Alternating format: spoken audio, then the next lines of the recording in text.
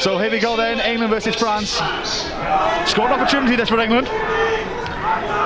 Mitchell, Protheroe, plays to the right, goes to the little kick to the corner.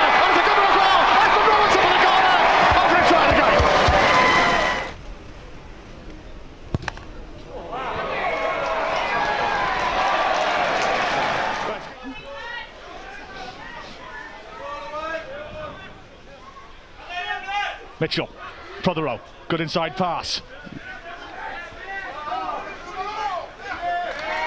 But France win the penalty.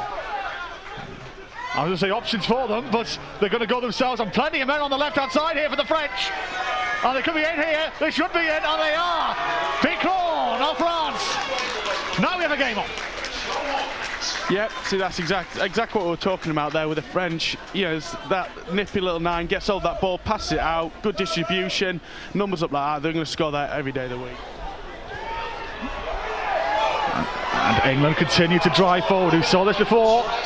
Can they get there this time though? They may do. Number three, Piers Comenge, replaced by number 17, Mathis Dumaine. But it's a turnover by the French. And now chance for the to counter attack. Oh, what a run this is. Good run there. From Letier. Ball's gone backwards, says the referee, so no knock on advantage. France inside their own 22. Retier. Oh, intercepted! Interception! And it's over! Sam Allen! A mistake from the French has led England in right under the post. Yeah. Ten minutes to go. France need to score. Even three points will do right now. They set up a grandstand finish.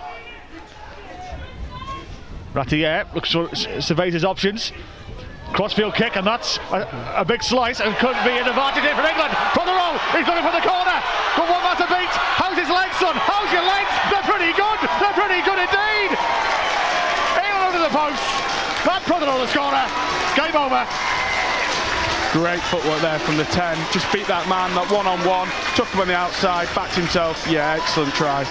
Yeah, I mean, you know, we've had two two and a half training sessions. Um, so yeah, you know, play plays on that. Obviously, we, um, this squad goes again in, a, in two or three weeks' time against the Wales. We've got a different squad coming in to play against Scotland. So yeah, the season started as, as we said at the start. We've got nine games from now to the end of the season to go out from under 18s, and from a performance point of view, that's uh, considering the conditions. Yeah, we're you know we're reasonably pleased.